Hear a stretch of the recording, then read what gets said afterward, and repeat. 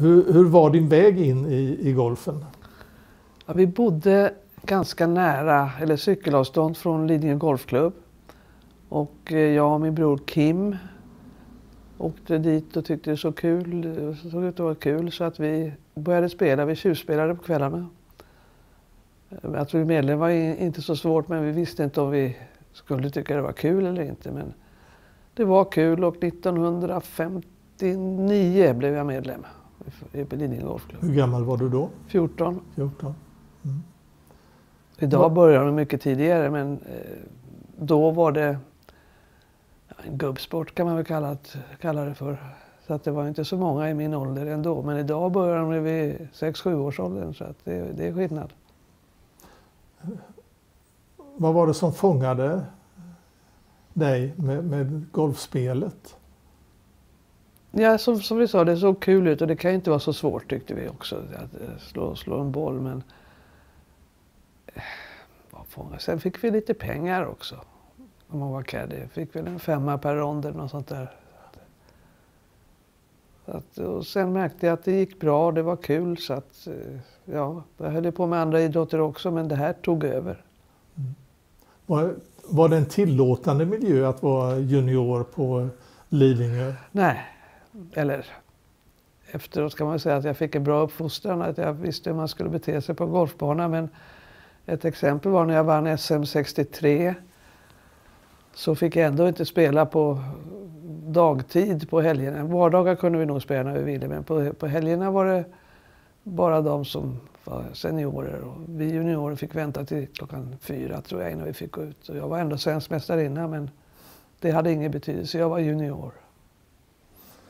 Men du, du eh, utvecklas ju väldigt snabbt där. För redan 62 så vinner du JSM. Ja, på Jönköping. Jo, det gick snabbt. Mm. Det var kul. Tränade du mycket eller, eller spelade du dig Jag till? spelade mer än någon annan tror jag på banan. Men, och om jag säger att jag under min golftid har slagit 50 hinkar så är det kanske högt räknat. Så jag stod, stod aldrig på drivrangen och står aldrig på drivrangen. Jag kan möjligen ta fem bollar av David, som jag, vår pro, som jag kan bara slå iväg dem innan jag går ut. Men... Men du, och då kom du med i landslaget redan det året du vinner JSM? Gjorde jag det? Jag trodde jag kom med i landslaget 63, men det kanske var 62. Ja, jag tror det. Ja, jag är inte säker. ja. Men i alla fall, sen så vinner du då SM 1963 och sen bara rullar det på under en, en knapp två decennier så är du eh, fullständigt dominant inom svensk damgolf. Hur, hur var det att vara så pass mycket bättre än de andra? Jag tänkte inte så mycket på det. Jag spelade mot banan. Brydde mig inte om vad de andra gjorde. Sen visade det sig att det räckte till segrar. Så att det... Men jag tänkte aldrig på att... Jag tänkte inte på vad de andra gjorde utan jag spelade mitt spel mot banan. Det finns ett, eh, en rubrik i en artikel som Lena Sellberg har skrivit. Eh, finns liv, finns inget hopp, stod det. Eh, och menar att de andra fick tävla om att bli tvåa. Du kände aldrig av det från de andra spelarna att de tyckte att du var för bra? Nej, det tror jag inte. Nej. Ja. Nej, jag kan inte säga det. Men jag kommer ihåg när vi spelade alla de här 72-årstävlingarna som var på den tiden. Det är inte så många sådana idag för amatörer. Så spelade jag alltid inspelsronderna med killarna för jag ville slå dem. Så jag spelade sällan träningsronder eller inspelsronder med tjejerna. Du har överhuvudtaget spelat rätt eh, mycket med, eh, med manliga spelare? Absolut. Det har jag. Jag hade en liten klubb, jag vet inte om du talas om den, Livbojarna. Jo. Och det var, är, eh, duktiga killar. Peter Dahlberg, Adam Melnick, Thomas Andersson, David Leet. Ja, de är många. De var väl tio stycken ungefär. Men eh, sen eh, sista tre, fyra åren när jag började slå väldigt kort och inte lika bra så har jag inte varit med i Livbojarna men jag ser att de spelar fortfarande ihop som livbojar. Så det är trevligt. Mm. Och du, du har sökt det för att, för att få utmaningen då? Ja, det är alltid kul att spela med de som är bra. Och de här killarna är bra. Ja.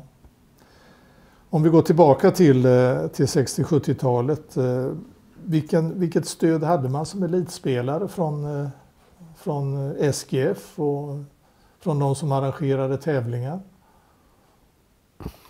Svår fråga. Ja, när man spelade VM och EM och landskamper så fick man ju, hade man inga utgifter. Men eh, Lidingö Golfklubb. Ja, jag flyttade, när flyttade jag? 70 tror jag jag flyttade ner till Skåne. Och blev medlem i Falsterbo.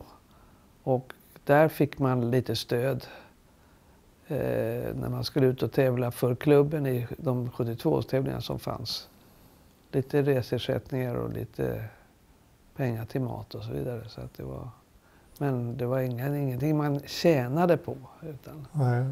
Men hade ni något, eh, alltså ett stöd i, i meningen utav träningar, eh, läger, verksamhet? Alltså att man satsade på att, att utveckla just som spelare? Ja, vi hade väl några läger men inte, inte många tror jag.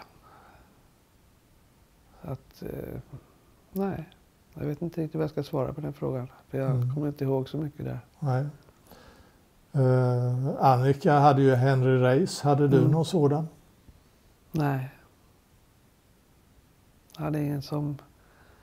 Jag vet att vi hade en kille från Storbritannien. Åh gud, nu kommer jag inte ihåg vad han heter. Och han tittade, vi var då på ett läger, han tittade på min sving och sa du måste börja om från början. Och då sa jag tack så mycket och adjö. Så att det...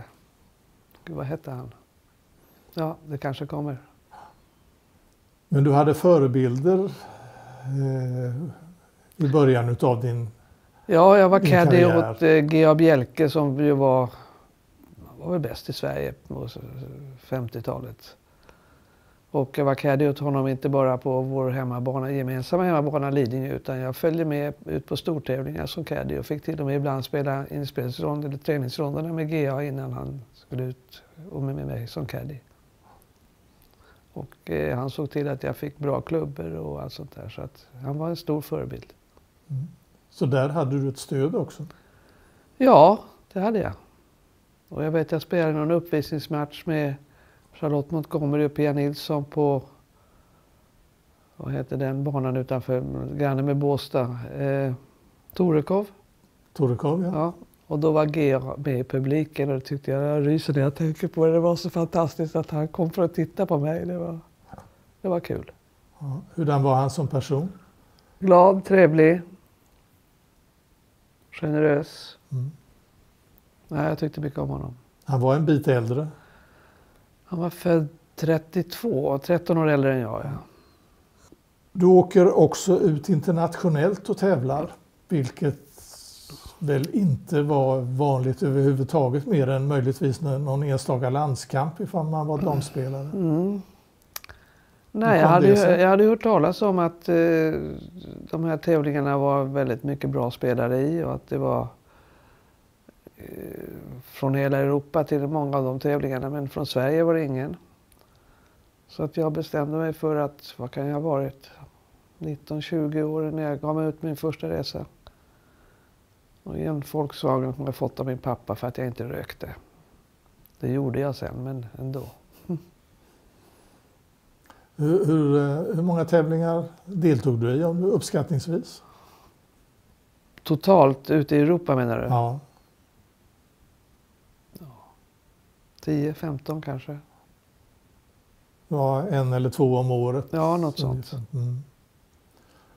Eh, du vann några gånger? Jag vann portugisiska mästerskapen, marockanska mästerskapen. Jag tror jag vann franska juniormästerskapen också. Och sen kom jag tvåa i British Amateur. Gick folkvagnen till Marocko? Nej, det gjorde den faktiskt inte. Nej. Nej, Marocko var faktiskt en tävling som kung Hassan sponsrade och eh, Då fick Sverige en förfrågan om vi ville, om vi ville vara med.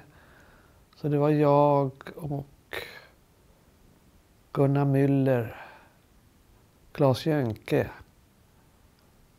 och Kristina Westerberg, eller Kristina Birke, tror jag var med där också. Ja. Mm. Hur, hurdan var den, de upplevelserna jämfört med tävlingarna i Sverige? Var det annorlunda, större eller var det ungefär detsamma? Ja, standarden var högre. Men, eh, det är golftävling som golftävling. Det, jag kan inte säga något, att det var något som var... Det, nej, man spelade sin golf och det, var, det, var, det, det kunde ha varit i Båstad också eller i Marocko. Du fick ju många utmärkelser de här åren. Du blev Årets golfare två gånger, Årets idrottskvinna. Eh, vad betyder det för dig? Det är alltid trevligt. Det, betyder, det ändrade inte min golf, men det var, det, det var kul att, och jag uppskattade det väldigt mycket och var stolt naturligtvis.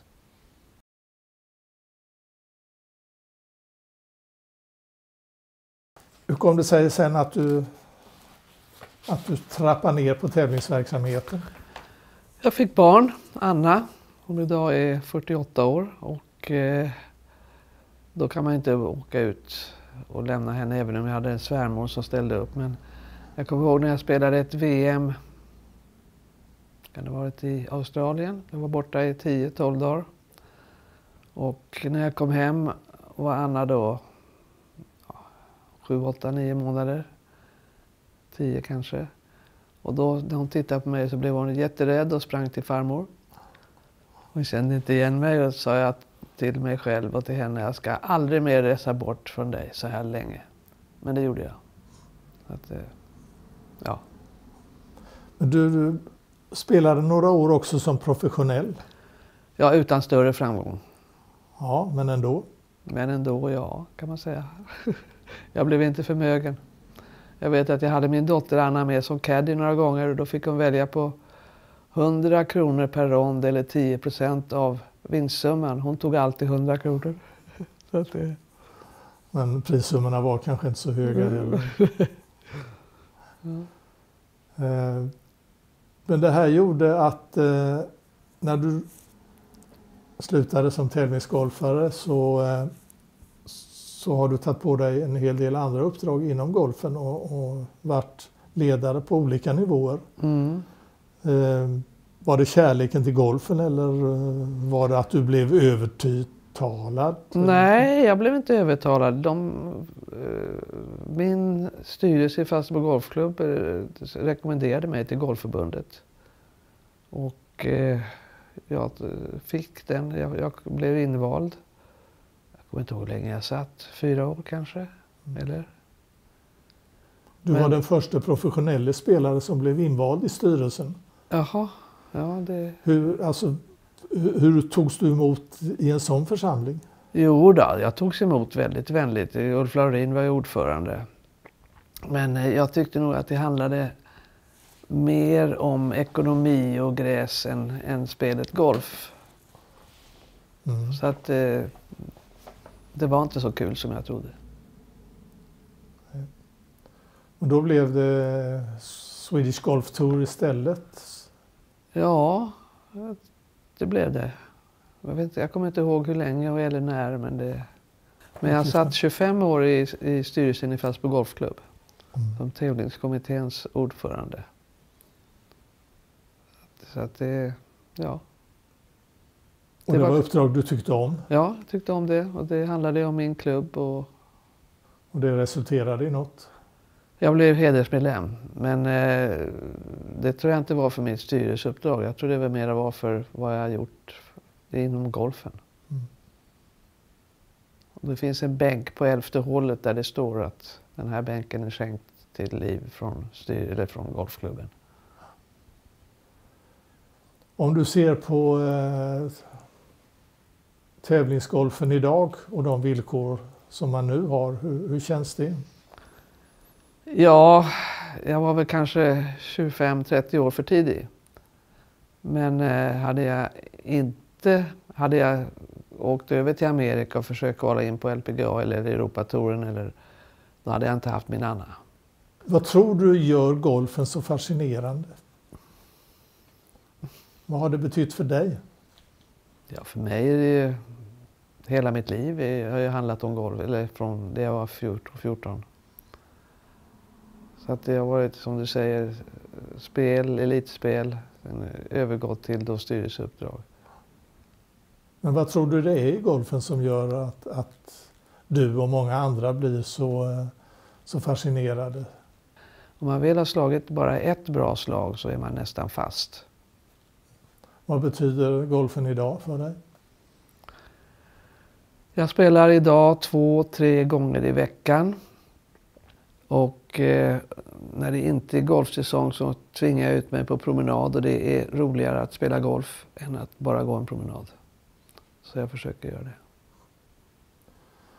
Du kommer att eh, bli uppmärksammad i Svenska Golfmuseets eh, nya utställning som en av de främsta i, i svensk golfs historia. Vad tänker du om det? Oj. Det är hedrande. Det låter ju fantastiskt. Roligt. Den skönaste segern. Ja, mitt första SM det var ju helt fantastiskt. Och jag kommer ihåg att jag ringde hem till mina föräldrar och pappa svarade Ja, det var ju roligt och så vidare. Så när jag kom hem så frågade mamma hur gick det? Där pappa glömt berätta för henne att jag vann. och en annan sak var att han var med och tittade på Lidingö Golfklubb. Vi spelade någonting som heter Hernholms minne, tror jag, en stor tävling. Och pappa skulle första gången se mig spela. Och eh, när jag kom hem så frågade jag, vad tyckte pappa då? Ja, vad var det där? 14 klubbor? Jag trodde att ni hade en klubba. Det kan ju inte vara så svårt med 14. Så att eh, mina föräldrar var inte, eh, var inte och såg mig så där hemskt ofta. Men pappa betalade för mig och tyckte det var kul att jag spelade så bra. Att det var, så att jag, ja, så var det. Vad tyckte dina bröder? Min bror Kim var ju med mig mycket på mina resor. Kim var ju också elitspelare. Vem, vem var den svåraste motståndaren på den tiden du var aktiv? Den som du eh, liksom kunde känna lite oro inför att möta i en match? Ja, Nina Renqvist och Cecilia Persson, Cecilia Morgdalj numera i Frankrike. Det var väl de två som kom närmast så att säga. Och sen kom ju Lotta och Annika. De, jag spelade några tävlingar med dem. Så att de, de slog igenom när jag la av ungefär. Mm. Och Lotta var väl den som stod mig närmast. Vi spelade VM ihop i Schweiz. Och sen blev hon väl pro efter det. Vad var skillnaden på hennes spel och ditt tyckte du? Ja, hon var nog modigare än jag. Hon tog risker som jag sällan tog. Jag höll mig i och för sig nästan alltid på fairway så jag behövde inte gå mellan trästammar och så vidare. Men jag kommer ihåg att Lotta på det 72 hålet i Örebro på Sism tror jag det var.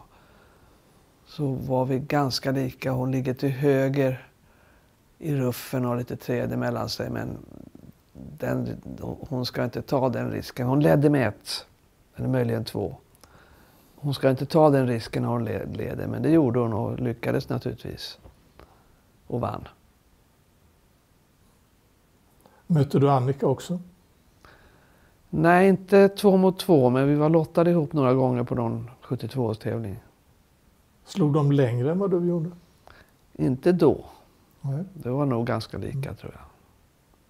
Följer du med i vad som händer idag i, i tävlingsgolfen? Ja. Intresserade dig?